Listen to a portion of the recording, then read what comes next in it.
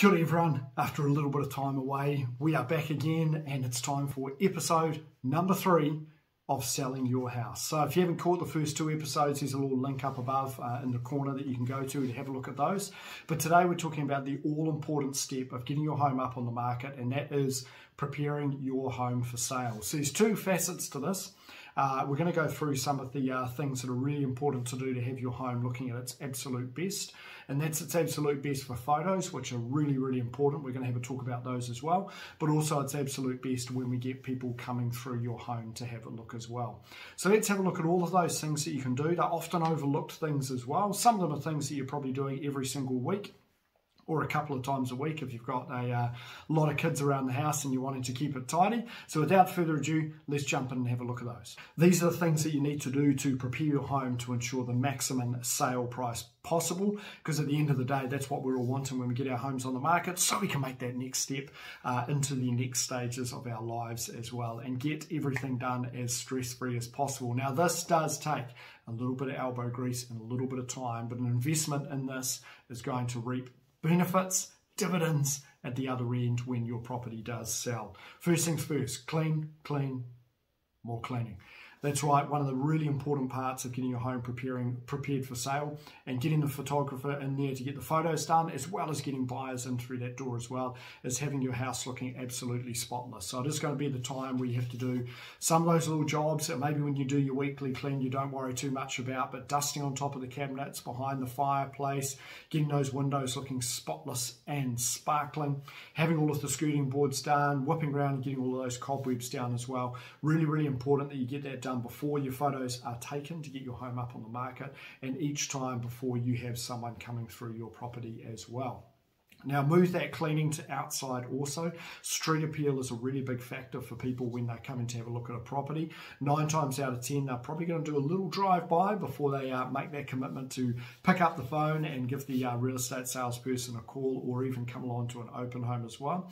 Probably going to do a drive-by, make a few judgments as they're driving by as well. So make sure that the outside of your house is looking fantastic. Maybe a good opportunity to give it a quick wash um, around on the actual property itself.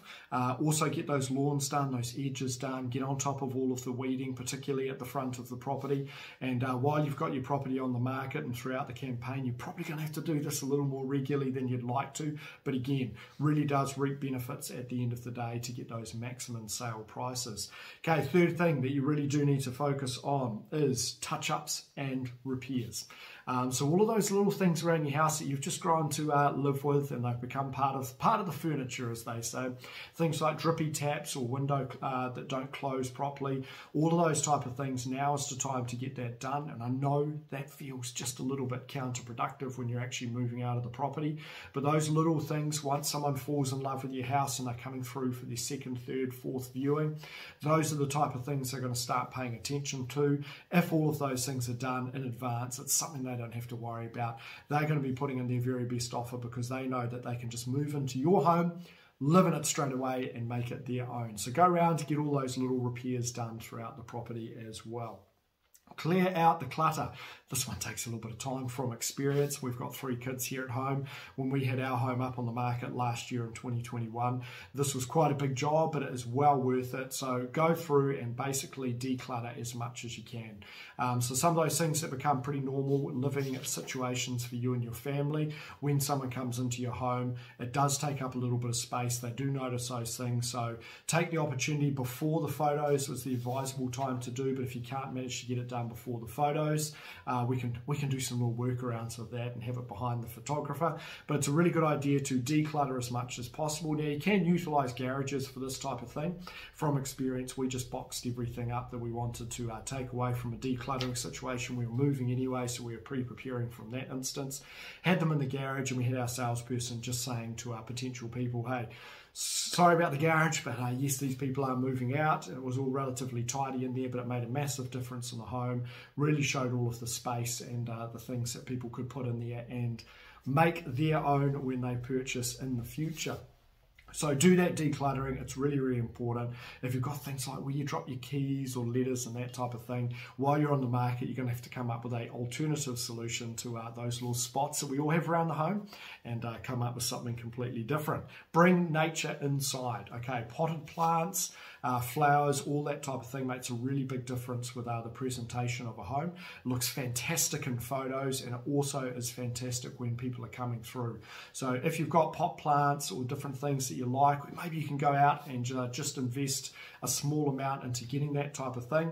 Uh, having those type of things around the home, plants, do make a difference with the presentation.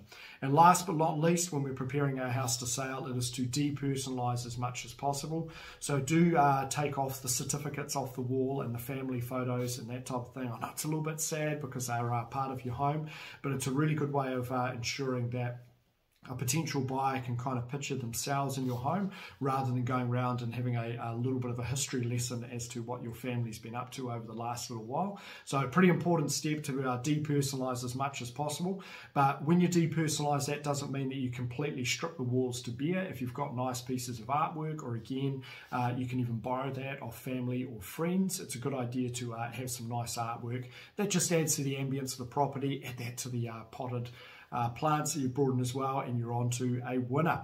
So we've got our home all prepared for sale. Let's have a little bit of talk about the uh, first step for getting your home on the market, which is photography.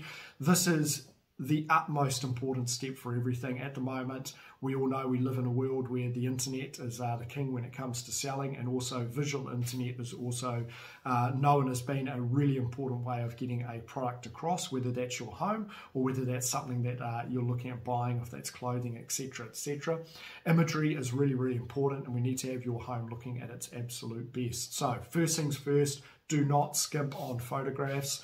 Uh, do not go for the option of just having them taken by a salesperson or yourself uh, with your iPhone, or if you're a bit of a hobbyist and you've got a relatively good DSLR camera, there's still some things that the professionals know what to do that you probably won't know what to do, and they do stand out when it's been compared to other properties on Trade Me. Remember, here in Whanganui at the moment, there's about 230 properties for sale, so your home has to stand out against all of those 230 others, and if the photos aren't right, it definitely stands out for all of the wrong reasons. So invest in that professional photography is an absolute must, and it's also pretty important these days that you're looking at the video options as well. So have a talk to the salesperson about what video options they offer, virtual tours and that type of thing. We're still in a bit of a state of a uh, pandemic and a different way of people shopping and purchasing things.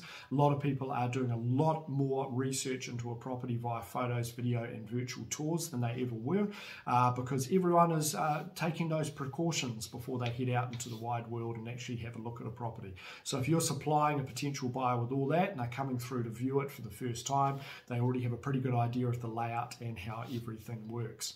Now, last thing, preparing your home for sale. A little bit of a longer video today, but hopefully it's been of value to you. Um, it's really important that you also have a think about viewing schedules. So don't get into the trap of saying to a real estate salesperson, yeah, just bring people through at any stage, because what that's going to do for you is lead to lots of stress because every day before you head off to work or drop the kids off, you're going to have to make sure the house is looking absolutely spotless because you don't know if someone's going to be coming through that day. So a good piece of advice here is in advance, before you actually have the sign out the front, photos on the internet ask your salesperson to uh, pre-book all of the dates that they'll come through. And my advice is to always go for a sunday open home. Maybe you can uh, change the times from week to week. It's also a pretty good idea to uh, open up your house for a midweek after five o'clock viewing. So maybe you've got to take the kids to a sports practice at five o'clock on a wednesday. That could be a good time to uh, have the salesperson and buyers come through. You can have the house looking absolutely spotless and uh, off you go do your thing come back and uh, you've maybe had three or four buyers come through and it's also good to set another time for uh, around about lunchtime. And often for the lunchtime ones, Fridays are pretty good. Friday lunchtime. Again, you can leave in the morning, have your property set up, and then around those times you can live your family life like normal. Anyway, that concludes our preparing or seller's checklist part of this. The next stage of this YouTube uh, tutorial with selling your house is taking offers, looking at offers, and all of the uh, legalities that goes with that. Thank you for your support with this. Looking forward to bringing you more in this series. Have a great day, we'll chat soon.